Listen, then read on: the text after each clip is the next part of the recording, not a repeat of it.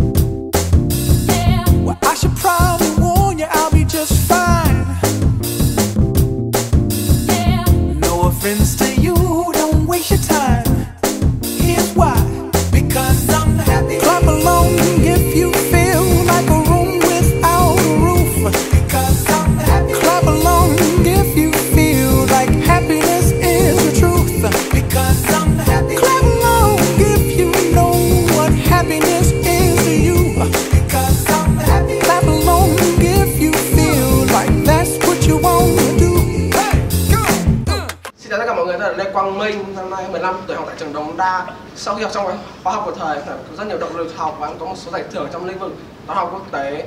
Em mong rằng các bạn ở đây sau khi học xong khóa học cũng có nhiều giải thưởng hơn em và đóng góp nhiều thành tựu cho xã hội. Và trong tương lai sẽ là một resource của khóa Teen năm 2017 7 và sau khi học xong khóa đời em cũng có một học bổng đi Mỹ vào tháng 8 Xin chào các bạn, tớ là Bình, hiện nay tớ là học sinh lớp 11 của trường chuyên tổng hợp um, trước đây tớ là một cô bé rất là ngại ngùng rồi rất là có nhiều vấn đề ví dụ như là hay cãi nhau với bố mẹ rồi um, bừa bãi không chịu học vân vân vân vân. Um, nhưng mà sau này tớ có được may mắn được gặp thầy Ernest trong chương trình chạy hè Super Teen tớ đã cải thiện được mối quan hệ với bố mẹ với gia đình. Tớ đã biết cách uh, tự sắp xếp thời gian và tổ chức cuộc sống của mình một cách có rất là có hiệu quả. Và đặc biệt trong một tháng tới đây tớ sẽ chuẩn à, tớ sẽ lên đường đi du học ở úc. Tớ muốn nói là tớ rất cảm ơn bố mẹ vì đã tạo cho tớ cơ hội được gặp thầy Ernest và um, con rất rất rất rất cảm ơn thầy Ernest um, vì tất cả những gì thầy đã làm cho con giúp con thay đổi trong vòng 2 năm qua và tạo cho con những cơ hội um, để cho con tiếp tục phát triển các bạn ơi, ở trong tháng 7 sắp tới mà tớ có khả năng về được Việt Nam, tớ mong là tớ có thể giúp các bạn và đồng hành các bạn trong chương trình Super Teen sắp tới của thầy với vai trò là hỗ trợ. Hẹn gặp lại các bạn. Bye bye. Trong hai cái ngày học vừa qua thì uh, gia đình chúng tôi uh,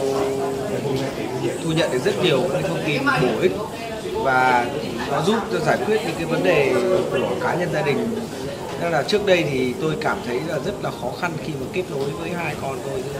Sau khi tham dự hai cái khóa học thì tôi cảm thấy nó rất bổ ích và tôi học được rất nhiều cái kỹ năng. Tôi với vợ tôi để học rất nhiều các kỹ năng để kết nối với các con rồi tìm cách để